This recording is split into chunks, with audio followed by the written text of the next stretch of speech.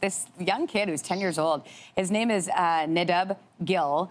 And you know, you think about what your kids have been doing in during this pandemic, and they've been at home and they're learning and they're practicing their schoolwork and working on their schoolwork. Well, he has been practicing his times tables. Okay. And I'm going to say he's doing a pretty good job. Look.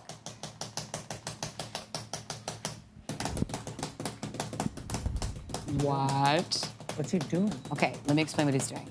This is an app called Times Table Rockstars app.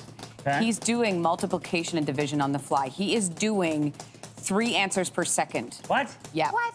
I know. What? Look at this. So he's seeing the He's seeing, them, the question on the top. computing, and answering them. I don't understand how this is possible. Does it go in the same order all the time? That's what I wonder. No, it's not. memorize Look, it's random. It's fu- Yeah, but has he memorized the order of it?